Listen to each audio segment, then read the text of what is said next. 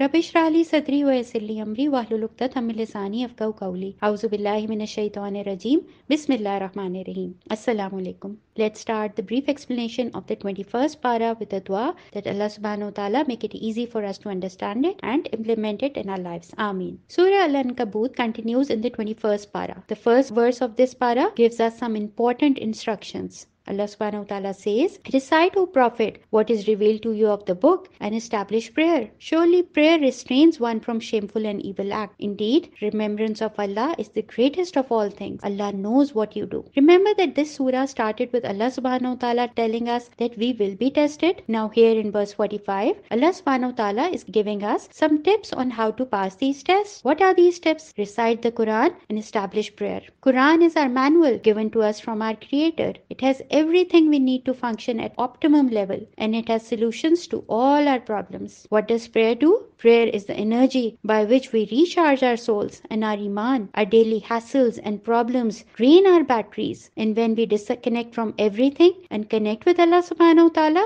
we are re-energized, right? Then Allah subhanahu wa ta'ala says that establishing prayer stops us from shameful and evil act. But why doesn't our prayer stop us from doing wrong? Because we are just praying and not establishing prayers. It means my prayer has not yet been established as it's still under construction. Now how well and how strong my construction is depends upon me. Another command comes from Allah subhanahu wa ta'ala in verse 46. It says, And do not debate with the people of the book unless it is in the best manner. All discussions about religion should be done in a rational, civilized, and decent manner. Our purpose should not be to make the other person lose, but to win heart. Then Allah subhanahu wa ta'ala says in verse 56, My believing servants, my earth is vast, so worship me and me alone. This verse is, is a hint towards the first hijrah, which had not yet happened when this surah was revealed. Here Allah subhanahu wa ta'ala is telling the Muslims of Makkah and all believers that if you feel it is becoming difficult for you to follow Islam in your city or country, you may leave it and move to another place where you can live as true believers. This surah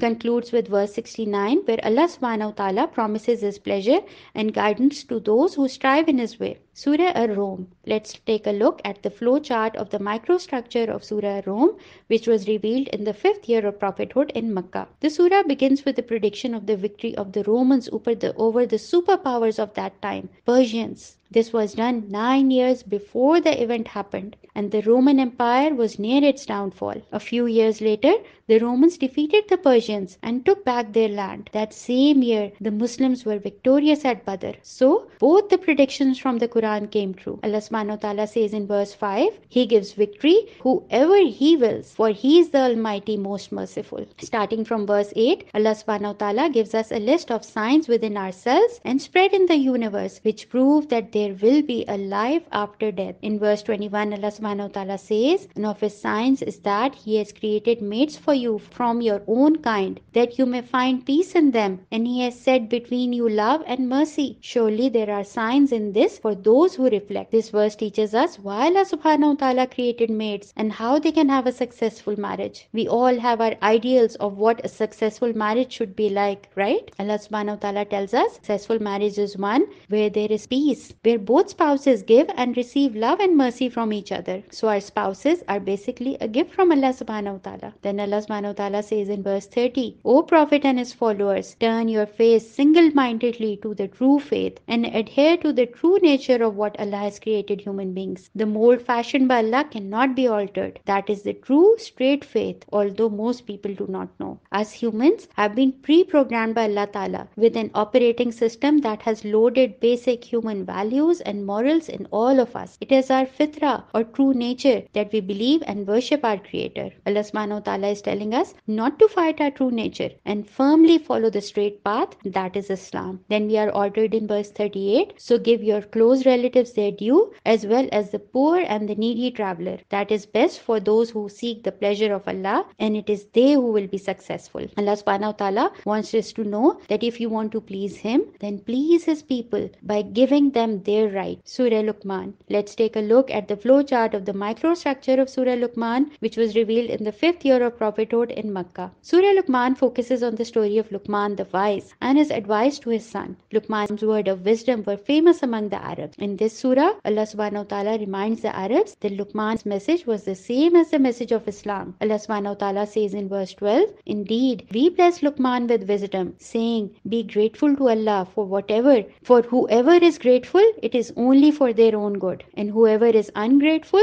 then surely Allah is self-sufficient, praiseworthy. We are told that Luqman was wise because he had been given wisdom from Allah subhanahu wa ta'ala. And the first demand of wisdom is gratefulness and obedience before his Lord. Point to note is that Allah subhanahu ta'ala is not in need of our gratitude. Our gratitude is beneficial for our own selves. The Quran then mentions the advice which Luqman gave to his son. Allah subhanahu ta'ala liked his advice so much that he has preserved it in the Quran. The first advice is, O my dear son, never associate anything with Allah in worship, for associating others with him is truly the worst of all wrongs. The first lesson for us in this verse is how he addresses his son. O my beloved beloved son, how do we talk to our children? Do we speak with them with love and respect, or do we only mistreat them and talk to them harshly because we are superior than them? The first advice that he gives his son is not to do shirk. Every believer, even from a young age, should be taught that Allah subhanahu wa ta'ala alone is our master, possessor of all power. The second advice comes in verse 14, and we have commanded people to honor their parents. Their mothers bore them through hardship upon hardship, and their weaning takes two years years. So be grateful to me and your parents. To me is the final return. After the right of Allah subhanahu wa ta'ala comes the rights of parents. And among parents, the mother comes first. Most of us don't remember the hardships our mother bore for us when we were small, right? And our fathers, they worked hard day and night to provide for us. They counsel us and advise us. And for this, they deserve our respect and honor. Then Luqman says in verse 16, O my dear son, even if a deed were the weight of a mustard seed,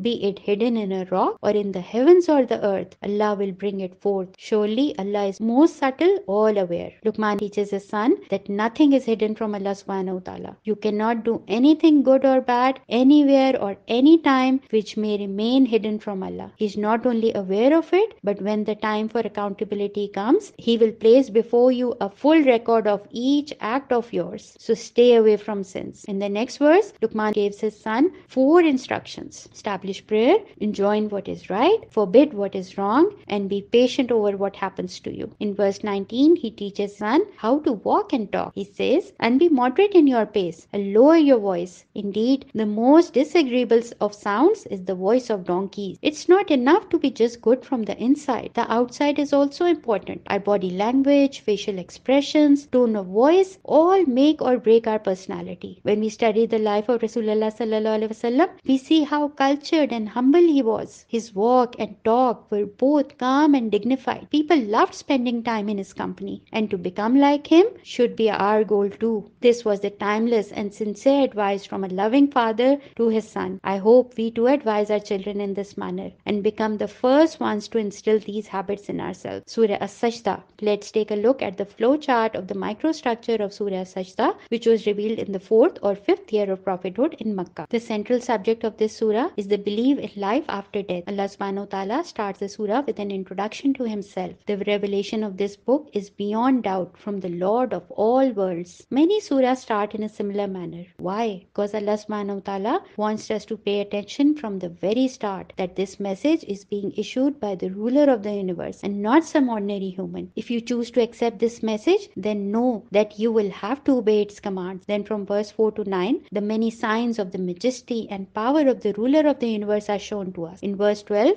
Allah subhanahu wa ta'ala describes the conditions of sinners on the day of judgment. If only you could see the wicked hanging their heads in shame before their Lord, crying, Our Lord, we have now seen and heard. So send us back and we will do good. We truly have sure faith now. That day their declaration of faith will be of no use. They will have already failed the test, which was to believe while the reality was hidden. Then Allah subhanahu wa ta'ala informs us about the attitude of the believers. We are told in verse 15, the only true believers in our revelation are those who, when it is recited to them, fall into prostration and glorify the praises of their Lord and are not too proud. These are the qualities of the believers. They listen and they surrender. They do not regard it beneath their dignity to submit their will in front of Allah subhanahu wa ta'ala. What else do they do? They abandon their beds, invoking their Lord with hope and fear, and donate from what we have provided for them. Their nights are spent in gaining the pleasure of Allah subhanahu wa ta'ala. They are regular in their tahajjud prayers and they spend from whatever little or much that they have. Do we also have these qualities? Do we submit our will to Allah subhanahu wa ta'ala? Do we always praise Him? Do we leave our sleep for His sake? Do we spend to earn His pleasure? Think about it. Allah subhanahu wa ta'ala says in verse 18, Is the one who is a believer equal before Allah to the one who is rebellious? They are not equal. These are two different attitudes and the results will also be totally different. One will gain the pleasure of Allah subhanahu wa ta'ala and will be rewarded accordingly. And the other,